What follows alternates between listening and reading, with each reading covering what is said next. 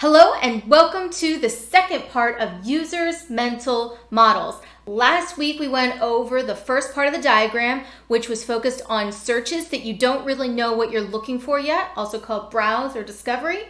This week we're going to be talking about the second part of that diagram, which is when you do have an idea of what you're looking for. Now, the good thing is there's a lot of the same things that are already involved. So if you want to check out some more in-depth analysis of the user's mental model, I would check out the first video.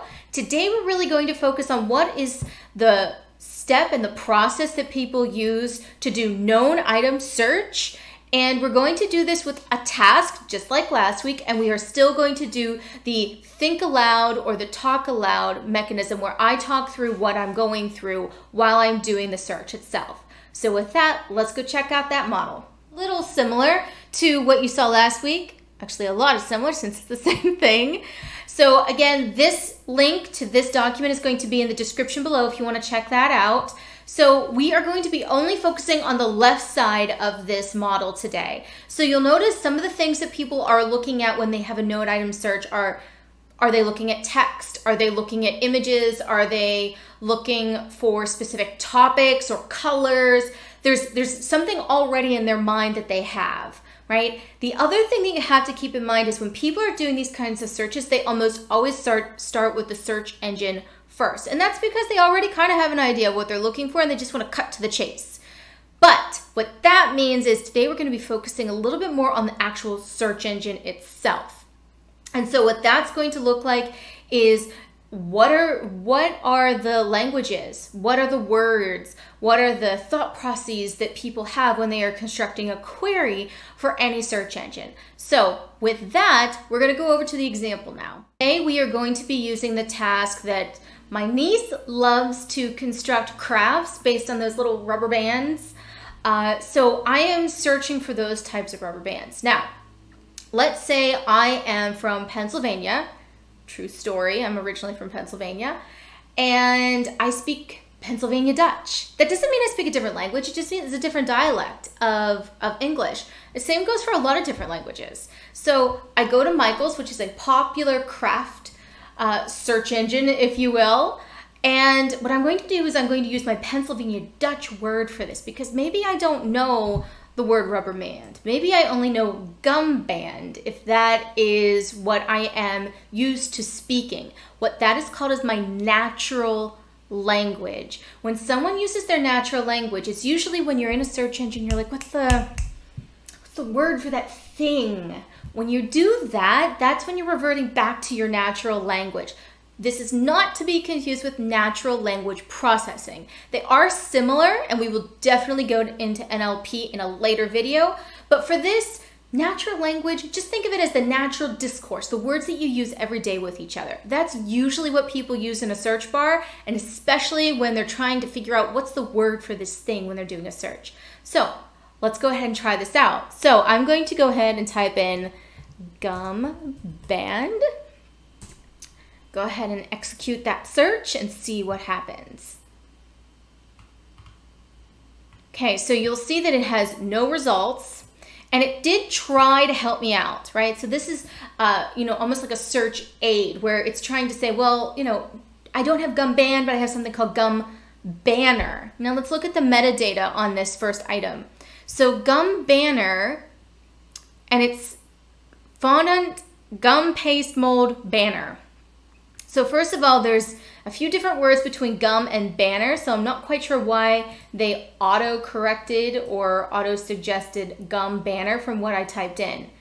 But they still didn't give me what I wanted. I'm looking for gum bands, and I'm not really finding what I want. So normally what people do is they just go to Google. So let's go to Google. Okay, so this is where it gets really fun. So your task for later is going to be very similar to this. Let's try to fool Google. It's actually not that hard if you know what you're looking for. So I'm going to type in gum band yet again. Now the first thing I'm going to see, again on the first paint above the fold, remember we talked about in the last video, it's basically what shows up first on the screen. I'm seeing a lot of things about music. So Google is basically saying, okay, I see band in the words that they put into the search engine. So they're they're thinking it's more on the musical context rather than something like crafts. So I'm not finding what I want here. So what I would do is maybe go to shopping since I am looking for a purchase. Now before we go there, let me show you if you go slightly below the fold, you'll actually see gum band. And it says that it's chiefly a Pennsylvania and West Virginia rubber band. Well, that's great. So Google should know what I'm talking about, right? I mean, it's only the second thing in the search results. It should know what I'm talking about. Well, let's go to shopping and see what happens.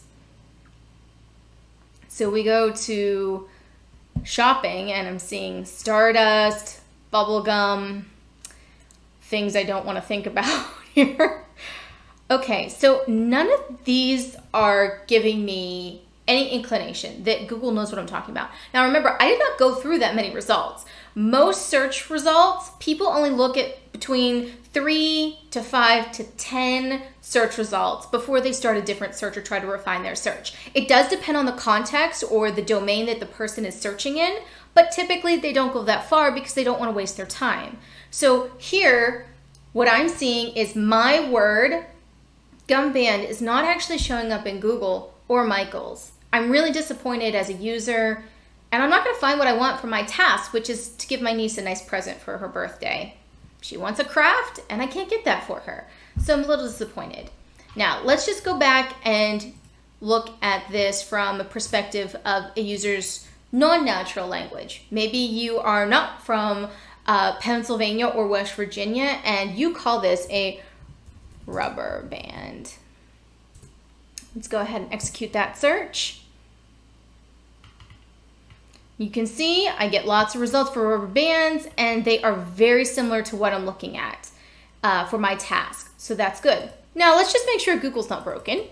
And let's say rubber band. And I'm getting exactly what I'm expecting. So you'll notice that I'm not necessarily clicking into anything at this point. I'm just kind of verifying that I have the right words and the right language that I'm using. The problem is not all users have the same language, whether it's Chinese, Japanese, English, Spanish, or it's just a different dialect of those languages. People don't always use the same words to describe something, and that's something that we have to be very careful about when we're doing information architecture. And honestly, this is something that a lot of information architects do not do. And when we get into the semantics and knowledge graph section of all of these videos, this will be very, very important. So please take note because honestly, if you can do this right, you have a very, very nice information architecture suite in your back pocket. So with that, let's jump. All right, so we are back. That was a very quick way of looking at the user's mental model for a known item search, but it usually is quick because I already know what I'm looking for. And if I'm not finding it quickly, I'm going to know that very quickly. So if you like this video, please subscribe, ring bells, email me, what have you. Please put some comments in the description below because I love talking to all of you. I think it's very exciting that, you know, so many people have been engaged in this. Um, so with that, let's talk about your task. This is really exciting. So I love to stump Google. It's one of my most favorite things to do, and I think I've gotten pretty good at it. So user's natural language, as you can imagine, is really hard to get everybody's natural language included into a search engine such as Google. However, if you're working on information architecture that's smaller than Google, it's definitely something you should think about and you should consider because you can actually get at that user natural language and you can do it effectively. So we're going to talk about that in an upcoming video. But for now, what I would like you to do is go stump Google. Go stump any search engine that you would like and leave a comment in the section below. What word did you use and what does it really mean? And did you actually get any results? And I hope that you don't get any results. You might think, well, that's kind of strange. The whole purpose of this is to Google and see what we can get and learn from this and how we can then put this into practice, improving all the other search engines that we might be working on. All right, so with that, I think that this was a quick video, but I'm trying to be a little bit more concise in what we're doing. The other thing is stay tuned for the next video where we're going to talk about users persona.